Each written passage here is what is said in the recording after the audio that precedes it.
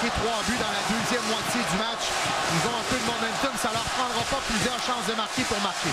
Gaucher, ça mène en zone adverse, perdu le 10. Godet derrière et le but! Cassim Godet qui crée l'égalité avec 2 minutes 8. Tu venais d'en parler, Marc-André, c'est 4 à 4. Wow! Et lors du deuxième entraque, François Etienne et moi, on en parlait que ce match-là n'allait certainement, probablement pas se finir 3-2. Et c'est ce qui arrive. C'est qui marquent le but, qui leur donne les devants. Et tout de suite après, sur une entrée de zone, quelle autre phase encore une fois que l'entrée de zone pour les remparts de Québec.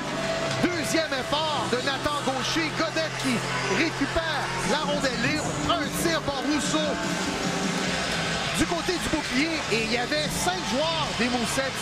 Alors c'est pas un surnom classique, c'est simplement le bon travail de Nathan Gaucher, le bon tir de Godet et encore une fois les remparts sont à 1